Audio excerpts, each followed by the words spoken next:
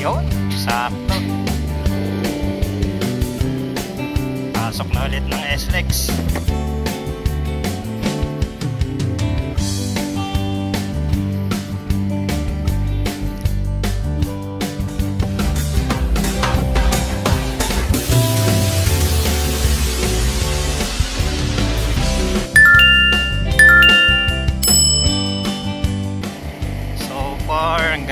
10k no? Uh, para sa akin starting bike ko to uh, as a big bike.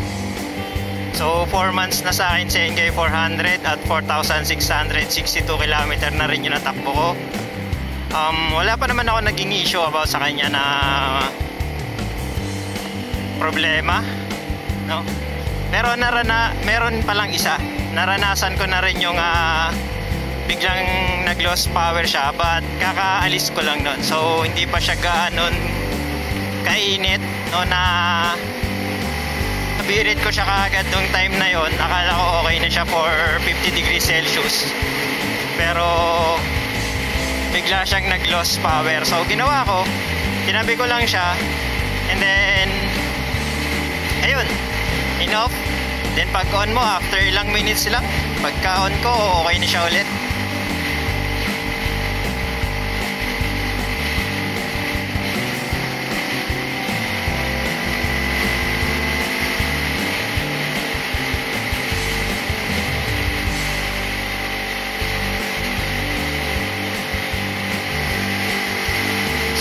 nung nabili ko sa NK400, first, first week after ko siyang matutunan na i-drive, kahit hindi pa ako ganun kasanay, naibiyahe ko siya ng malayuan sa north, kay uh, papuntang Pangasinan, it was in San Quintin, then dumiretso kami ng Bulinaw. Then, just a day lang there, then bumalik na kami ng Tagig. So, na long ride ko kaagad siya. And then, after that, nag-Nueva Ecija ako to prove yung kanyang fuel consumption. At a certain uh, chill ride lang, no? Uh, nasa 100 km to 110 km lang yung aking nominal actually nasa 100 lang talaga ako nag stay that time. And uh, na ano ko yung kanyang fuel consumption na 25 km per liter sa eco mode. And uh, 23 km naman siya sa sports mode. Okay so nasubukan ko siyang uh, ibiyahe naman ng uh, talagang biritan papunta ng south, nag-Atimonan, Quezon kami and that time meron akong mga nakasabgay na talagang sanay na sila sa uh, big bikes no? And puro kami NK400 during that time. Uh, meron pala kami isang kasamang 650 and talagang uh, yung takbuhan namin that time is uh, kakaiba no?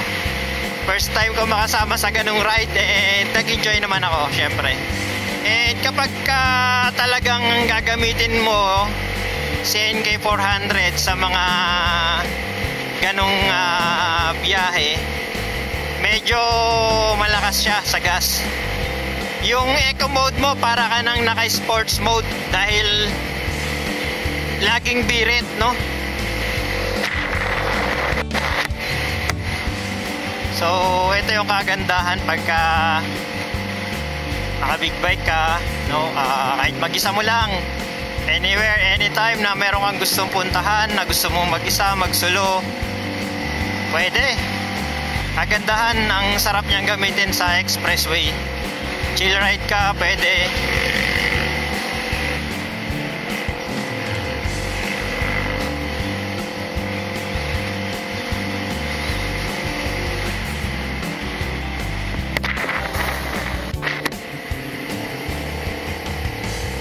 So, CNK 400, no? Uh, kung hindi ka naman talaga kumakarera, hindi ka naman nagre-race track, and gustong gusto mo yung uh, normal na chill ride lang, yung gusto mong takbo na may enjoy mo ba. So, the best. The best na siya para sa akin. Una, naging issue niya is, uh, syempre, yun nga, mabigat dahil 206 kg. So, kung uh, bahay, trabaho lang, pang-araw-araw, talagang ginagamit ko siya. Kahit malapitan lang, uh, ginagamit ko na siya lagi ko siyang ginagamit kasi yung handling ng uh, motor pag uh, nasanay nakasanayan mo na siya magiging madali na siyang gamitin hindi na siya ganun kahirap or kabigat. Uh, honestly dalawang beses ko na siya na, na naihiga. Uh, both situation is magpapagas ako sa gasoline station. And yung una, wala naman siyang naging uh, uh, dalawang beses ko na pala siyang natumba. Una is yung magpapagas lang ako to turn right. So, hindi ako ganun sanay lumiko sa kanan kapag ka uh, medyo sharp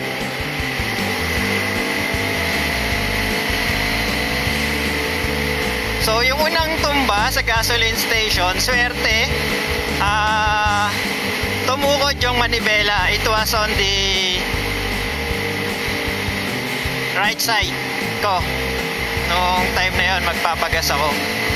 So, medyo nabigatan ako nung pagkapreno ko, nabigla siya sa harap. So, mabagal naman na yon. Wala naman siya naging gas-gas and naging problema nung time na yon. So, yung sa hit guard lang ng tambucho, yung medyo may coating dimple. So, malit na malit lang, di mo nga siya mahalata kung tutusin. And then, yung pangalawa is yung angkas ko, yung uh, meron akong angkas nun. So, pa paliko kami on the right Then medyo mabagal naman yung aming takbo. Unfortunately, natapat ako dun sa side na merong butas yung kalsada. So medyo nabitin yung aking uh, height for that scenario. So since medyo malalim yung butas, ah uh, umanggel na ng tagilid yung ano bago pa bumaba yung aking pa So, dahan-dahan din siyang humiga. Unfortunately, nagkaroon siya ng konting gas-gas sa pre-rings. Kasi, hanggat mare talaga, nung una ko siyang nabili, ayokong gumamit ng uh, crash guard na yung malalaki. Yung, uh, gusto ko is yung slider lang hanggat maaari para syempre hindi na makadagdag ng bigat and parang naiilang ako kapag ka may crash guard na kapag ka sisingit parang yun lagi yung nagkukos ng pagkailang ko. So it's not good to drive sa mga situation na naiilang ka kasi it will cause you an accident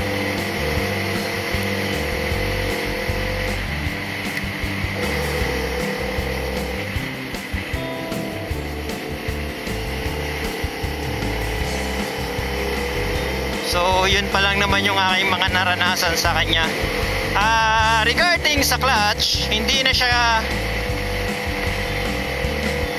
ganun katigas. Nung una, oo, medyo natitigasan pa ako. Siyempre, dahil hindi naman ako nagka-clutch or hindi ako galing sa manual no, from automatic na Mio Sporty for 7 years yun ang naging uh, motorsiklo ko never akong nagmotor ng manual So, dahil gustong gusto ko nga magka big bike, I was uh, I trained myself talaga na matutunan ko to. So, kung gusto mo talaga, madali lang siyang matutunan. Uh, nung kahit hindi pa ako sanay, talagang gusto ko na siyang i-drive nang i-drive hanggang para syempre masanay ako until such time na nasanay na ako. So, ayun, So until now, so kahit malapit lang yung aking mga pinupuntahan, Actually, sa traba ah, pinapangaraw-araw ko talaga na service. Para hindi mawala yung handling. Ang na-experience ko kasi before no na kapag ka hindi mo na na-handle kahit sabihin mong 2 weeks lang may iba or mababago yung handling